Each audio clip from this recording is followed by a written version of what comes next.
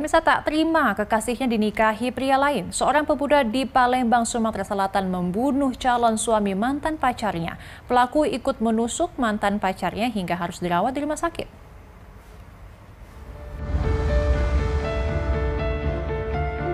Sepasang calon pengantin di Palembang menjadi korban penusukan.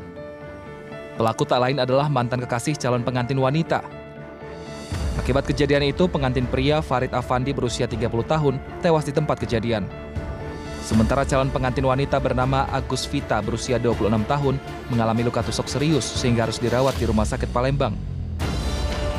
Peristiwa itu terjadi pada Jumat kemarin di lorong Sungai Goren 1, Kelurahan 2 Ulu, Kecamatan Seberang Ulu 1 Palembang. Pelaku yang tak terima ditinggal nikah oleh pacarnya akhirnya berusaha membunuh sepasang calon pengantin itu Pelaku yang diketahui bernama Dani sudah mengincar calon suami bekas pacarnya setelah dia tahu kalau wanita pujaan hatinya ini akan menikah dengan pria lain. Hanya saja selama ini korban berhasil menghindar dari pelaku. Pelaku membututi dan mengincar korban saat mereka ke pasar. Kedua korban ditusuk di dada dan punggung hingga salah satu korban yakni calon pengantin pria tewas di tempat kejadian. Siapa yang nusuk ini yuk? Dani. Uh, siapa Dani itu yuk? Dani Andika mantan pacar. Mantan pacar. Oh apa motifnya nusuk ayu itu? Motifnya dia balas dendam sama aku. Dendam apa?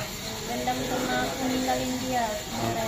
Hmm. Dia dia nggak terima kalau aku nikah sama orang lain. Oh, oh Ayu ini mau nikah sama orang? Iya. Sudah nikah tuh belum? Belum. Oh baru rencana. Rencana minggu ini mau nikah. Oh, Jadi dia kekabar kalau aku mau nikah. Jadi dia dari aku terus dia dendam sama aku. Sebelum membunuh korban, pelaku sempat berkelahi dengan korban. Polisi kini memburu Dani yang telah membunuh calon suami mantan pacarnya serta melukai kekasihnya itu. Sudirman, Palembang, Sumatera Selatan.